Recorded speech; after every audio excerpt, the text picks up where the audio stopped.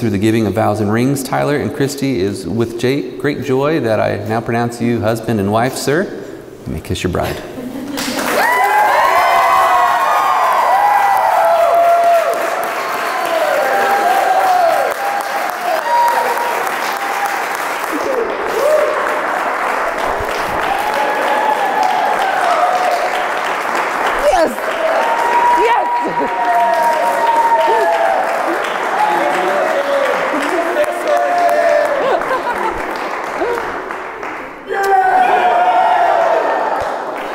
I'm pleased to announce for the first time, Mr. and Mrs. Tyler Norman, what God has put together, let no man separate.